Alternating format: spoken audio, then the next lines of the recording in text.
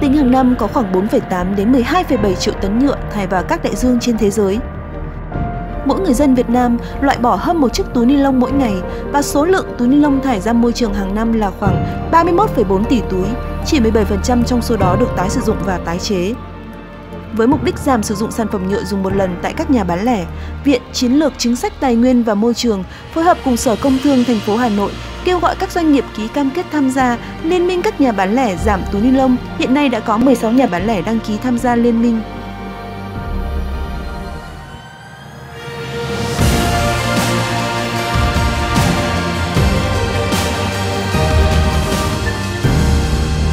Hoạt động nằm trong khuôn khổ dự án thí điểm sáng kiến thành lập liên minh siêu thị nhằm giảm thiểu việc tiêu thụ túi ni lông dùng một lần tại Việt Nam, dự án Plastic Alliance. The Plastic Alliance project is an innovative initiative to establish the alliance of retailers to reduce the consumption of single-use plastic bags in Vietnam. Trong khuôn khổ hoạt động của Liên minh, các nhà bán lẻ đã cam kết cùng nhau thực hiện các hoạt động nhằm giảm túi ni lông và sản phẩm nhựa dùng một lần, bao gồm thay thế túi ni lông khó phân hủy, cung cấp cho khách hàng bằng các loại túi thân thiện với môi trường. Thực hiện các chương trình khuyến mại nhằm khuyến khích khách hàng giảm thiểu, tiến tới không sử dụng túi ni lông dùng một lần thực hiện các hoạt động truyền thông nâng cao nhận thức của người tiêu dùng về giảm thiểu sử dụng túi ni lông và phát sinh chất thải nhựa.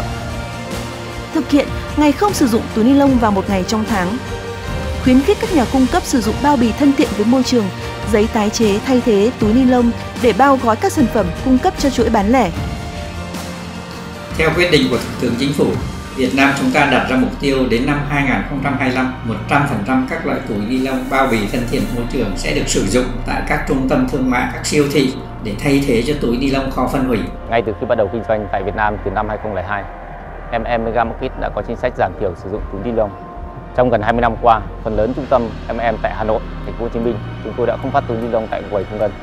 롯데마트는 2019년부터 비닐봉투의 배출과 사용을 줄이기 위한 에코그린 캠페인을 지속적이고 성공적으로 수행하고 있습니다. 나는 행동한다, 당신도 그렇다. 라는 슬로건을 통해서 비닐봉투 대신 재활용이 가능한 이 에코백 사용하는 것을 적극적으로 권장하고 있습니다. Tiêu dùng xanh tổ chức tại hệ thống Copmart là một trong những chuỗi hoạt động chiến dịch kêu gọi cộng đồng sử dụng sản phẩm xanh, sản phẩm của các doanh nghiệp thực hiện tốt công tác bảo vệ môi trường. Bixi Thăng Long, một thành viên của Central Retail, rất quan tâm đến phát triển bền vững, môi trường và các hoạt động mang tính đóng góp tích cực cho cộng đồng. Đã từ lâu, luôn nỗ lực tìm kiếm các giải pháp để giảm thiểu tối đa lượng rác thải nhựa tại hệ thống của chúng tôi. Central Retail đã không ngừng nỗ lực để thực hiện vai trò của một thành viên tích cực trong liên minh chống rác thải nhựa. Long Bình Plaza là một trong những tổ hợp khu vui chơi giải trí, siêu thị điện máy, siêu thị tiêu dùng lớn nhất huyện Thường Tín Hà Nội.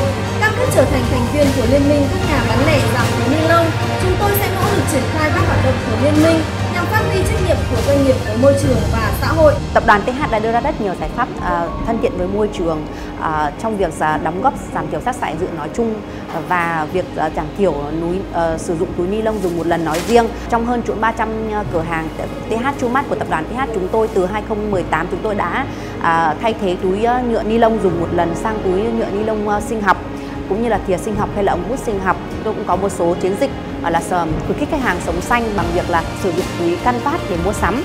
Một phần doanh thu từ túi Canvas thì chúng tôi à, đồng hành cùng các tổ chức bảo vệ à, môi trường cũng như là bảo tồn thiên nhiên tại Việt Nam. Decathlon luôn cam kết hành động vì môi trường hay chính là bảo vệ sân chơi cho những người yêu thể thao. Tại những cửa hàng của chúng tôi, các nhân viên luôn cố gắng truyền tải thông điệp vì mục đích bảo vệ môi trường Decathlon không cung cấp túi ni lông miễn phí và khuyến khích khách hàng dùng túi cá nhân trong quá trình mua sắm của mình. Nhằm chung tay đẩy lùi rác thải ni lông, May 10 đã nghiên cứu và cho ra mắt sản phẩm túi sách đa năng thân thiện với môi trường mang thương hiệu M10. Chiếc túi vừa tiện lợi, vừa thời trang, rất thuận tiện cho người tiêu dùng mang theo khi mua sắm. Mục tiêu kiến tạo cộng đồng không rác thải nhựa của Ion Việt Nam là một hành trình dài và nhiều thách thức. Chúng tôi tin rằng với sự đồng hành của người tiêu dùng, chính phủ và các bên liên quan, chúng ta sẽ cùng nhau chinh phục những thử thách to lớn trong thời gian tới. Ngoài ra, Ion Việt Nam cũng mong muốn đồng hành cùng người tiêu dùng, đặc biệt là người tiêu dùng thế hệ trẻ, để chúng ta hành động và thay đổi. From 2019, Uniqlo switches to environmental friendly shopping bags. Các nhà bán lẻ cam kết giảm thiểu túi ni lông khó phân hủy, nhựa dùng một lần trong hoạt động kinh doanh sẽ góp phần bảo vệ môi trường sống, đạt được các mục tiêu về sản xuất và tiêu dùng bền vững. bạn và tôi hãy chung tay giảm túi ni lông và sản phẩm dùng một lần